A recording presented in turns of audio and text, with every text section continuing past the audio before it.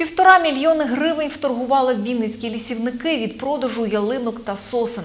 Середня ціна за одне новорічне дерево становила 80 гривень.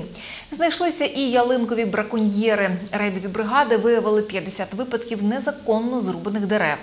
Порушники заплатили до управління лісового та мисливського господарства більше 20 тисяч гривень штрафів.